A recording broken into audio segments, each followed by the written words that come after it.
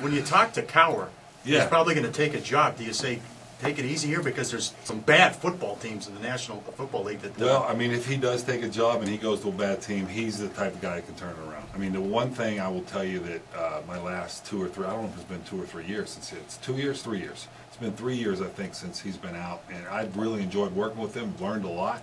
You know, we spend a lot of time, you know, off the set and maybe going to dinner here and there, and, and uh, he would be terrific somewhere for some team, and he, he could turn a franchise around for sure. He's that good. Our one thing, and we all agree on this, about the, the, the pregame shows on Sunday on any Yeah. network. Do you ever feel like maybe there's they add too many guys? They've added maybe one too many guys because when you want when you have an opinion on something, or if you want to talk about maybe breaking down a game, everybody's got to get their two cents in. So you might only have ten seconds to do it. Yeah, that's the thing. That's that's what it is, and and uh, you know you have to get your point across pretty quickly, and, and uh, but it is fun. I mean, it's a it's a pregame show. You try to have fun, and, and at times you don't get a chance to talk as much maybe football as you want to talk, and get into the X and O's and some of the philosophies, and and, and that's you know I do a radio show in Florida, you know on Monday mornings, and I get to talk a lot more about the game sometimes, but that's the fun part about a pregame show. It's it's more or less you know, you're picking the games, you, you try to get, you know, your point across as quickly as you can and have fun. That's what it is. Now, you're playing weight six four two and a quarter, okay? Right. Nutrisystem Yes. afterwards, but how much pizza did you do? How much did you blow up to before you got Yeah, I can't give that up. that information is, yeah, is only, uh, me, I'm the only one that knows that. I'm not telling you, but, but yeah, Nutrisystem works, but at the same time, you do a couple days of Nutrisystem and let's go eat Anthony's Pizza. You know, that's, that's part of the deal. Yep, all good, all good. Before you retired, the Steelers and the Vikings were talking to you. Why did you say no, and what did you think of Favre, his Ah, coming back to man, the, uh, Brett. Well, Vikings? f- well, Brett's uh, it's been incredible. I mean, it really is uh, what he's been able to do, and I, I'm, I'm, I'm happy for him um, to be able to come back and play at 40 years old. You know, I know he's didn't know whether he was going to play or not, but you can still he can still throw it. He can still make plays, and if you can still play, you have to play Be- because to me, I mean, once once it's over, you're never going to get that opportunity again. And and, and, and I I you know retired because I just felt health wise, I wasn't going to be able to play you know maybe at the level that I that I wanted to play um, at and that I was used to playing at. And and in 17 years with the Dolphins to me meant something. You know, it meant something about you know playing with one team at, at the same time, and it just didn't feel right at the time going to play in Minnesota or Pittsburgh. But but Brett's been terrific. Now, no discredit to his performances. However, he was pretty sly about getting out of those two a days and all that. How much did that That's hurt? it. That's overrated. Is it- it's to me. Yeah, all those off-season camps, and I mean, coaches do it and teams do it, and it's important. Need to do it, but if you got a player, you know, it's look at like Tom Brady or Peyton Manning and, and, and Brett Favre. You know, if you line them up, you got the right people. They know how to play the position. So to me, a lot of those they call them OTAs. I don't know. It's OTAs and off, a lot of mm-hmm. off-season stuff. Sometimes it, it's a little much, in my opinion. That's all. Does it bother you that a lot of people won't put you in the top three, top four quarterbacks all the time because you don't have a ring? Yeah, that's your opinion. That's what a lot of people No, will say really? I though. don't know. I'm just joking. Yeah. You know what?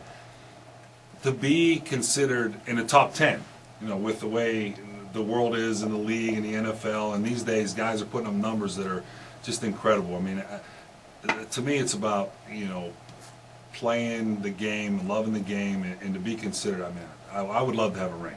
Obviously, you know, I mean, everybody would want to win a championship. I didn't, but I wouldn't pass up the 17 years in the Hall of Fame and being a part of all that for, for one Super Bowl ring. It's Gridlock on ESPN Radio 1100. Dan Marino is our guest on this Wednesday. Well, I, I want to compare you to uh, to Kevin Garnett in the NBA because I always thought that Kevin Garnett with the Timberwolves Yeah. had a chance to go down as um, one of the best forwards of all time, but people would say doesn't have that ring yet. Can't put him in that class. Then he goes to Boston his first year. He's playing with Allen Pierce Yeah. company there. And lo and behold, they win a ring. Now they say, well, maybe it, it doesn't seem fair because he, he goes to a different team, and now he's got this unbelievable talent around him. He, he wins a ring, and now he's one of the best of all time. Well, you know, it's uh, it's it's that's what you said. Talent around them, and there's and at times, you know, it's it's a team sport. You know, football's a team sport. Baseball, you know, basketball, obviously, and and, and you've got to be in the right position at the right time. I play with a lot of guys. I went a lot of guys I went to college with that they have Super Bowl rings and and they play two or three, four years in the league. You know, I mean, that's just the way the way it is, and, and it's more or less uh, to me. I I miss the what the feeling was would have been like to walk off the field and say I was a Super Bowl champion. I mean, that, that's the one thing, the one feeling you know in my life that I've never had. Other than that, then I have no regrets about playing the game the way I did. I'm sure when you lost in '84 to the Niners, you'd get there a few more times. Too. Oh no, there's no doubt. Yeah, I thought. I mean, we had Duper and Clayton. You know, that's one thing. You sometimes you know you look back. It was a young age. I think I was 23 years old, and and uh, you know you take it for granted. Sometimes you take for granted the fact that you know win the Super Bowl. We, that year we broke all the records. I mean, we're going to be back. I'm going to win a couple Super Bowls. Next thing you know, you're 38 years old, and uh, and your career is pretty much over.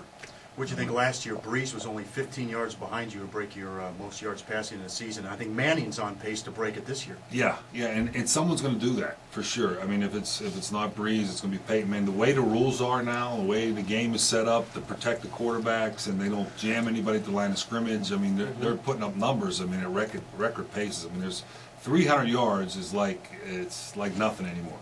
You know, it's more or less the standard now is 400. Before, when I played, you know, you threw it for 300, that was a big day. Now everybody's throwing for 300.